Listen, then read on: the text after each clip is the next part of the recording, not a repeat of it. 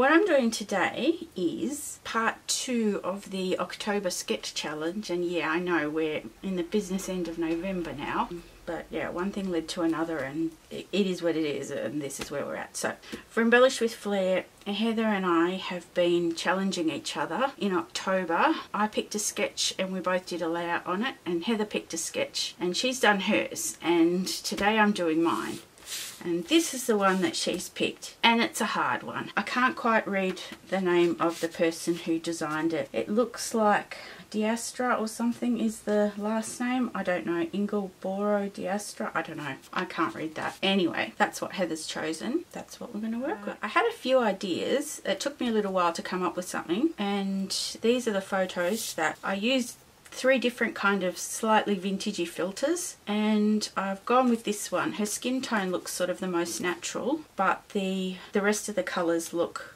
the way I want them to look, nice and rich. And it's an improvement on the original. So this is book week at school and that, that's the day they dress up. And they have these at my niece's school, these lime green steps, which is an odd colour to throw in with Wonder Woman, but hey, why not? So I've got these as a backup, but that's the one that I've cut down. The papers that I thought I'd use, and the reason why I wanted a slightly more vintagey filter on it is, I mean it's not very vintagey, but I wanted to use my counterfeit kit from October. I'll link the post description box when I put together the kit and shared it. It had a lot of the sort of no longer with us, dearly departed manufacturers like October Afternoon, Basic Grey, all of those ones. So it was a big kit because it was based on a Studio Calico kit with lots of add-ons and when there are add-ons, well obviously I'm going to make up those two. Mm. I think it was the lime green that was actually in the kit that made me think about using the kit with this photo because there were quite a few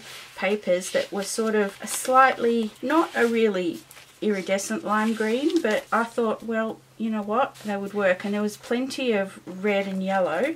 Not a whole lot of royal blue tiny little bit of navy maybe. So I did come back in and, and pull some extra blue options all the kits and add-ons and everything. I just went and threw them all together.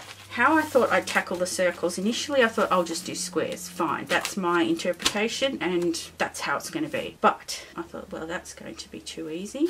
And I thought a middle of the road option between circles and squares are hexagons. And this um, Paige Evans paper from Horizon, the Rainbow Starburst, but if you look carefully, you can sort of see three distinct sections. So each ray is made of three papers and well, they're not hexagons obviously because there's more than six pieces, but get the idea. That's what I want to replicate. Now, I could use this paper except, firstly, I don't need all the colours and I don't want it to sort of go around like this. I want the wheel to be one distinct colour, so the colours to go outwards. I need something to be a template, which I cut on the silhouette. Um, this looks like a hot mess right now, but I promise there's order to it. So I pulled it off. Now I'm not sure which bit you're supposed to use on your layout. You could use either and I know people have used both and that's what I would probably do. I think it's a Paige Evans one. I am going to measure out roughly three or four circles and just sort of mark them. If I start with the biggest and work my way down I just have to cut each one as I go and use each of these wedges as a template for the pattern papers and that's why I've got pretty much all the pattern papers and all the colours so that I can do each one in a different colour um, well in the same colour but in a different paper in the same colour. Is that making sense? I need to figure out a way of doing that get some measurements happening. So for the background I wanted not something white white but pulled out a few options and they're all sort of bookish textish sort of options. Right off the bat even though I love the fact that it's quite plain and the text is sort of in aqua which would go along with our colour scheme it's just too cream as October afternoon tends to be. Even this one is really quite I mean this one's more of a, a textbook like a exercise book layout so it's about the same sort of cream. This cream is much lighter. And while I like that it's a story, and that would go along really nicely with Book Week, it is a bit too bright. So my solution is I'm going to just slap on a ton of gesso. It'll still be translucent even just with plain gesso. The white will lighten it up a bit and um, the text and everything will still come through. So that's what I'm going to do first and then I'm going to figure out what I'm going to do with those cut files and how to attempt to deal with those. Now I've just got some gesso, brush, nothing fancy.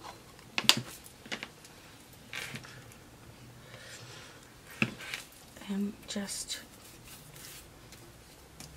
I like brush strokes. This is a good brush because it's big so I cover a lot of ground quite quickly and I can get nice brush strokes. It always looks more opaque in the beginning. It will lighten up a lot when it dries.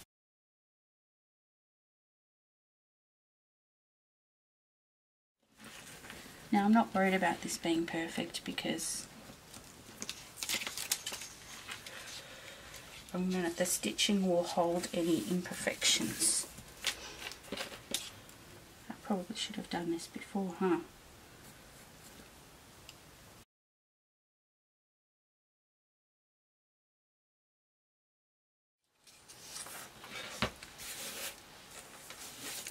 Mm -hmm. Actually, uh, I should probably color code. Just going to grab a pen and color code um, the pairs because they might they might not be pairs.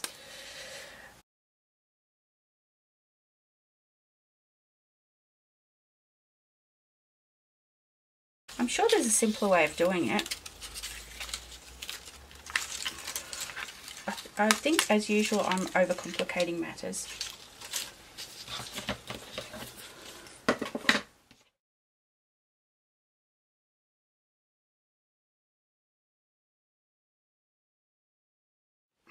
Okay, we have all our little triangle pie shaped starburst wedge pieces and a dry background.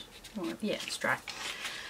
So I'm going to start with the biggest circle like I said and that will be the blue one and I guess we just see how we go. So I'm just going to pull out all the blue papers, see if I've got enough. If not, raiding the scrap bin, but hopefully I do. Well, a sensible thing would be probably to avoid cutting into brand new big 12 by 12 sheets if at all possible, but then I wouldn't be using the kit. And I've got plenty of paper.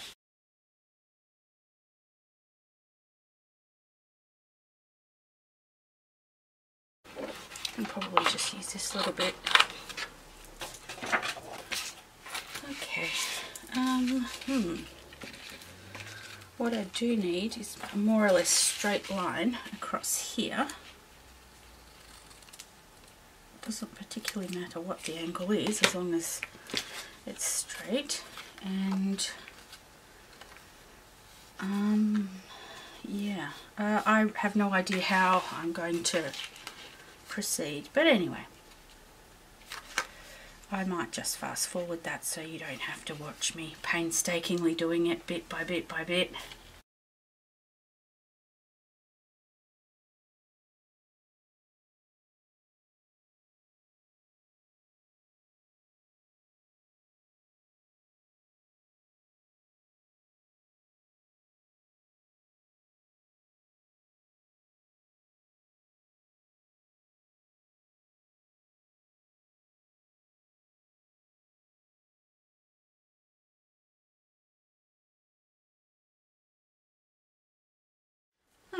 Finished cutting the wedges for at least the first section and now it's time to put them in order. So this is a good job why I numbered them. Okay, just putting the tiniest little bit and I'm doing it that in the middle so that when I stitch along the intersections it's not going to gum up the needle.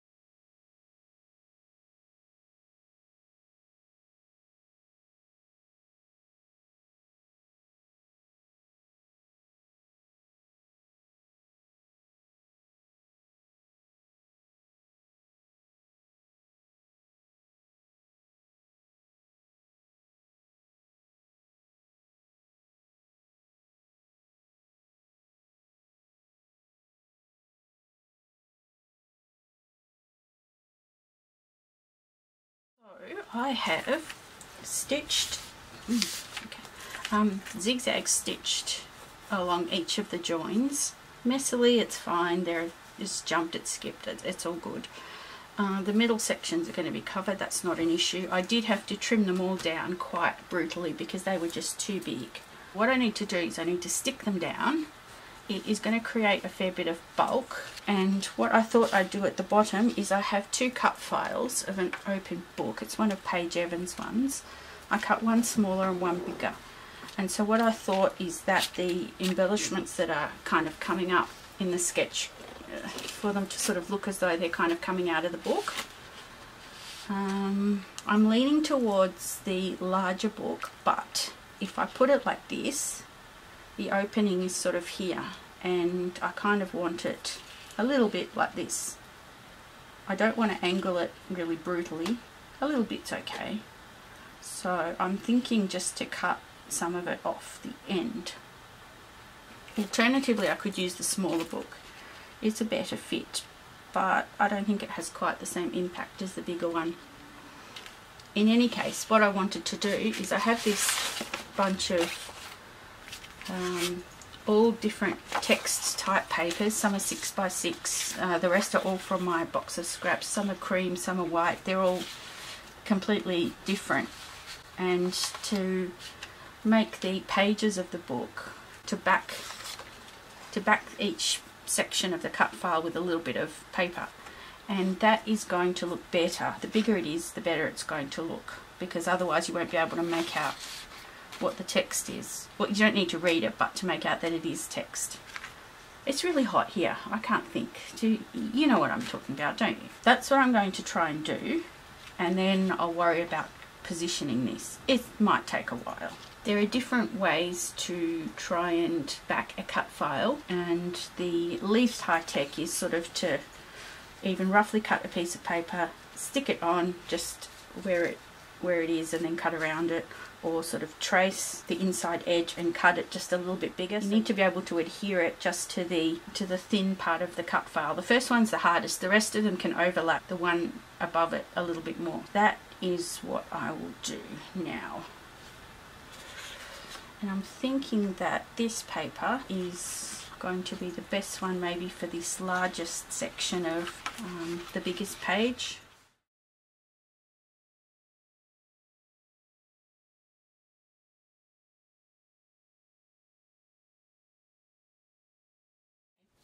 Book is ready. I went with red stars for the actual, what should be the cover of the book because, partly because the smallest of the circles is red and so there'll be the least of that but also because you know stars, Wonder Woman and stars are one of the elements that I'm hoping to put up the side along with I'm also hoping to fussy cut a bunch of these books and have them fluttering up the spine so to really play up on the whole book, the book week thing because yeah that's an essential part of the story.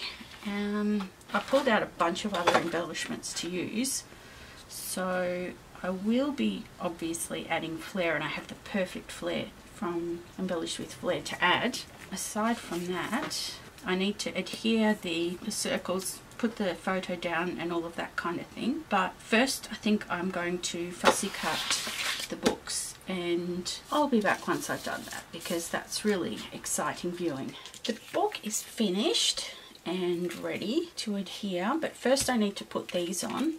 I trimmed away the excess paper but I had to hack off quite um, a lot of the actual I guess circumference or diameter depends whether you're measuring this way or this way but I felt that they were just too big for the page considering that I wanted some other elements to put there so the sketch which has become stuck to the mat which is fine. Yeah we, we still have this sort of stuff to add and the journaling.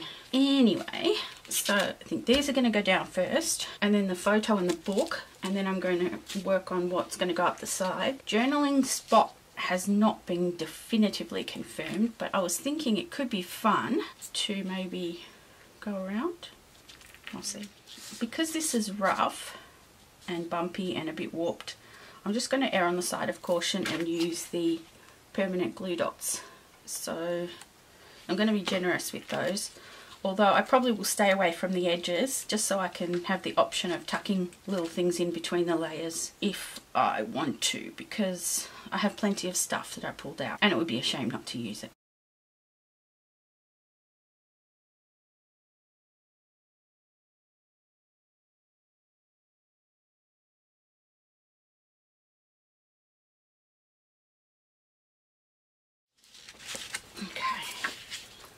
Now the book.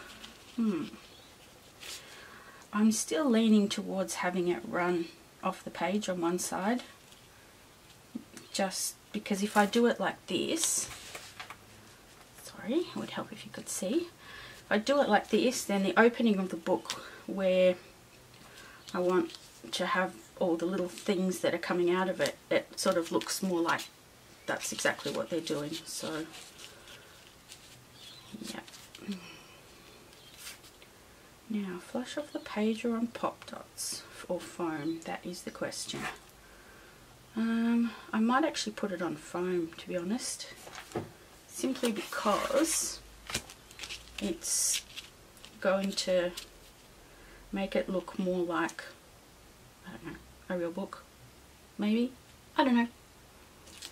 And I can figure out where to put this. I did sort of think about tucking it in the pages or having at least the part of it to sort of the photo to look as though it's coming out of the book. But I'm not sure. Uh, that might not be too bad actually. I wouldn't mind some of the circles to be obvious on this side but obviously I do need to cover up that center and the good thing is that the green steps I think the children sit on those things or something I don't know um, isn't anywhere near the green the green layer. So that's fine Okay, let's get some foam on that. What I'm going to do is put the adhesive side down and then I can use glue dots on this side because that's the side that's going to need to be um, stronger.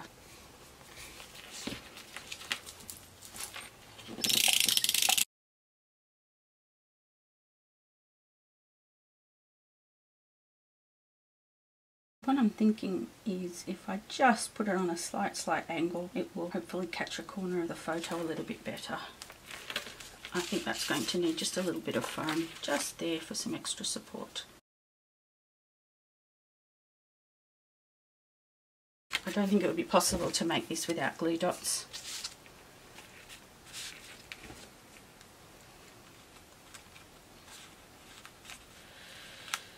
Now, how are we going to thinking that if I do the title over here sort of in several lines it will fill up this space without getting in the way of the other bits. I might actually do that just to be sure that's where I want it. Well, as usual, I've pulled out far more lettering options than I need. Initially, pulled out all the glittery stickers because, I mean, this is Wonder Woman we're talking about. Uh, speaking of that, I kind of thought maybe I wanted to do a bit of a diagonal line of gold mist, misty splatter, except of course I forgot before I put the photo down. That's okay.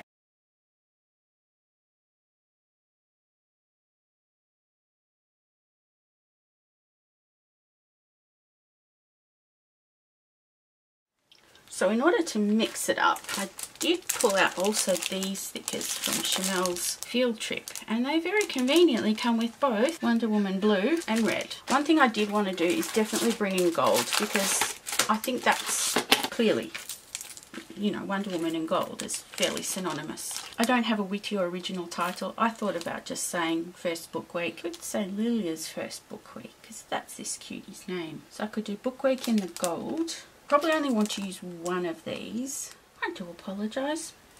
What happens is if I'm not paying attention, after 30 minutes the camera stops recording, which is fantastic. Anyway, you didn't miss anything. I'm still messing about with these alphabet things, the title. Yeah, I think I've decided which alphas to use. What I'm just trying to avoid is to have all the words starting in the same spot. I'm just going to just stitch a couple of messy lines through each row maybe not that one. I'll put a tiny a micro glue dot on. Title stitch down and now I'm going to use a 05 precision pen and hope that it writes okay on the gesso. That's the thickest one I have. I did have some eights I think but I don't anymore. So I'm gonna have to hope for the best. I'm hoping that the journaling will fit if I start maybe here I don't want to start too far down because I think I'm going to go a bit nuts with the embellishment. I mean, don't always, but anyway. I will start, say, maybe, where did I say? Here. I'll do that before I forget.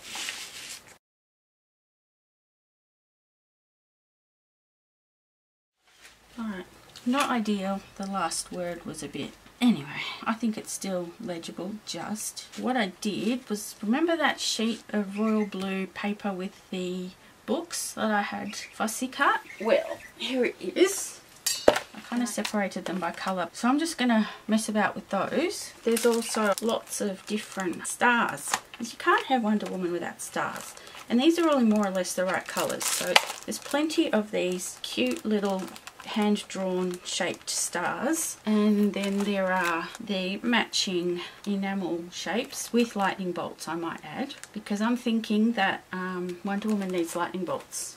I also have in two sizes, where are the other ones? Make that three. These random Wonder Woman stickers because when you like Wonder Woman as much as I do, you have all the Wonder Woman things. I think that this one's meant for planners, but there's a lot of really small words and shapes and things like that that will work. And they've used the gold, so that's one reason why I wanted to. I've got lots more stars.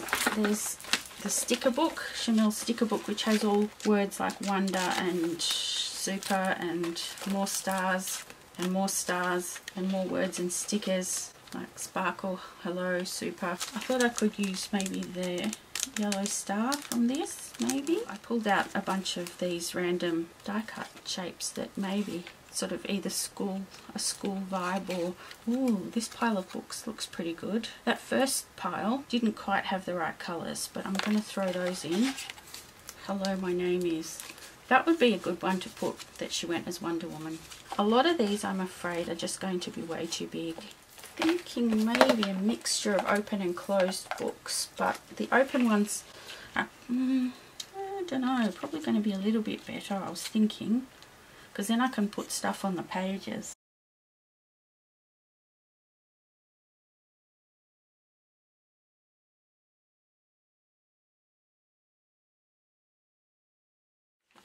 I'm going to pull these off too so I need to figure out where to put these largest elements. I may actually rather than scattering the badges up the side with everything else sort of put them around the sort of more important parts of the sort of to mark the journaling, the photo and the title. Something like that. Anyway, the next thing is just to figure out how I want these books and I don't want to forget this stack of books. Maybe that can sort of go somehow like this. And the actual, I mean this has a strip at the top and the bottom, so we can do a token little cluster up there. Something like that. I'm kind of liking that green one better.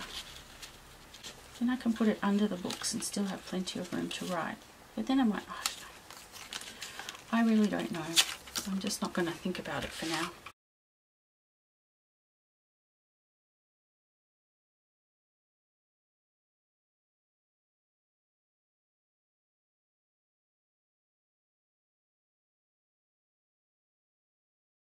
Yeah, actually that's pretty good. And this can go somewhere. And I probably will put the books on pop dots just to put a bit of a shadow underneath them. And having done that, I'll be able to get a better idea of where. Because I don't want to overload the books, says the girl who likes more. Then I'm thinking that the flair badges should, in theory, I'll figure it out.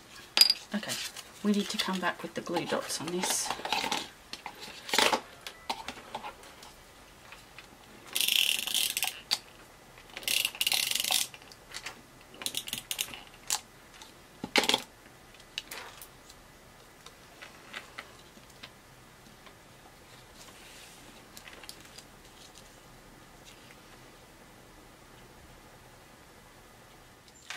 Okay, you might notice that I have pulled up the little name tag and the bits that I had over here because the more I thought about it, the more I thought that what I might want to do is have these books that I had going from here up to there to have them going from biggest to smallest and to have them going right around here in which case that was going to get in the way. So if I move it there I actually think it might not be the worst balance because you'll have a little bit of something there to balance out this book here. But then again, there's stuff all the way across the bottom and then there's stuff here and stuff. I don't think it's going to make much difference one way or the other. But I'm going to try it. I've still got those bits here. I just stuck them onto this plastic packaging so I can just keep the sticky and move them again.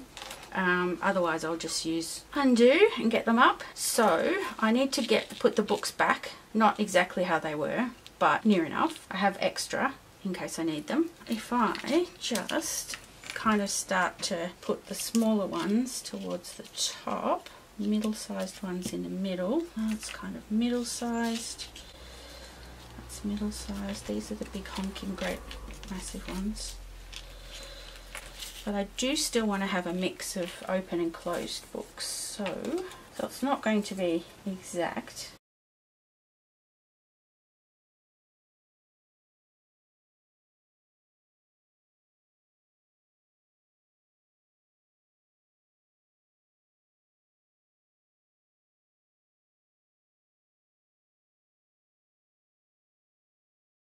Yeah, well, I don't know. Looks a bit messy, but get inky and hope for the best.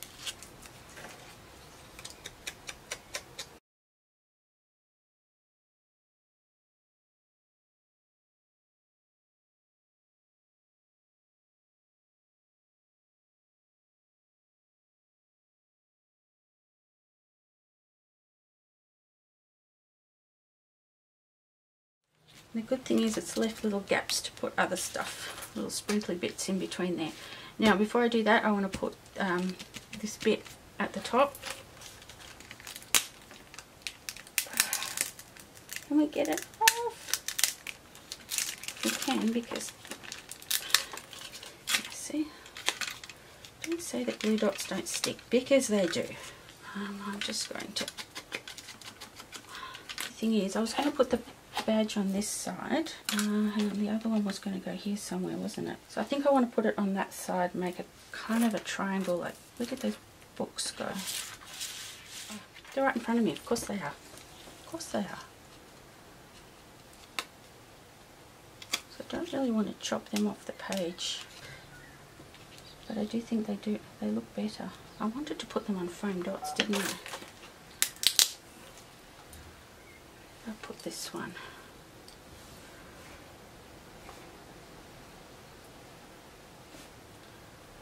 Down there, over here. Kind of like it overlapping everything. Have a look and see what it looks like with the books going off the page. But I guess it would be sort of like this going off the page. Alright, well I'll ink it and then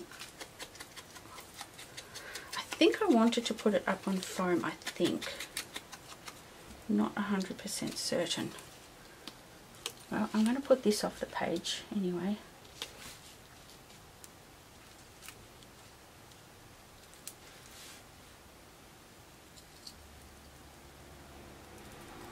And I could put that bit right there. Hmm, yeah, I can live with that. Let's do that. Before I change my mind.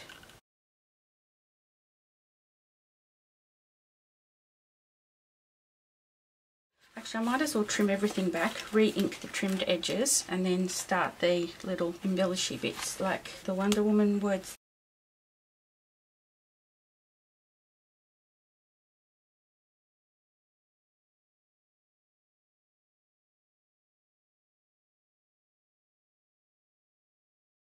Fine. I'm going to need teeny tiny micro stickers. Okay, I've got some older ones from My Mind's Eye and Jenni Bowlin. Sorry about that. I keep needing to, I really should be reminding myself to check when the camera switches itself off. So we're just sticking stars still. nothing has happened of any great significance.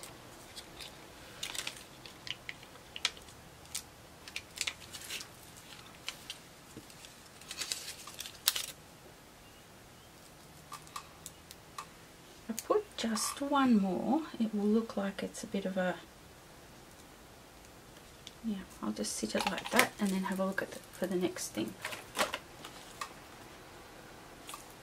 Yeah, I think I'll use these. Actually, there's these things too, the little comic book things. Oh, okay.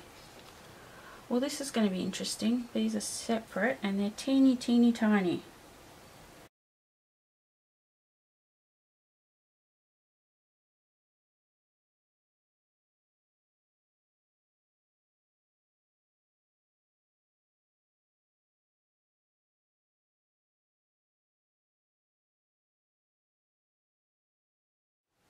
Must say those gold ones are really subtle. I think we need more red. I do, I'm just going to use them all.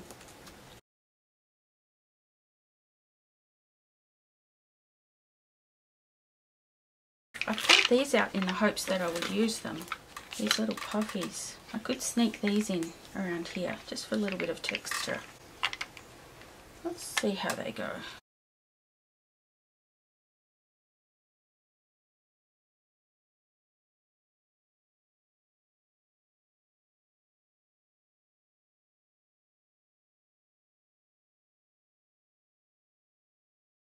Oh, the date. The date, the date. 6th of September. Going to have to use one of these. It doesn't have it, has it in the American format, but that's okay. Where to put the date? Maybe just here. I think that's flat enough that might actually get legible stamping. Just better double check that it's Yep, that's the correct. Get 06, yep. Alright. Now I don't mind if we stamp multiple times because that's the whole library card thing.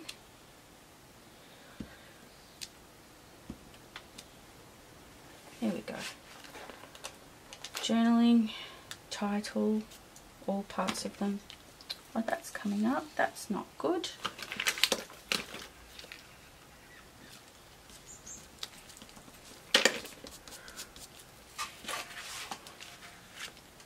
Flare badges, hearts and all the other bits. Date. Yep, okay. Thank you very much for watching. I will have more uh, close-ups and pictures and everything of this on the Embellish with Flair blog and on my blog and I hope you enjoyed it even though I had the camera cutting out several times. I'll investigate and see if there's anything I can do to stop that from happening but it's an actual thing apparently. Um, yeah, like I said, thanks so much for watching and I will see you soon. Bye!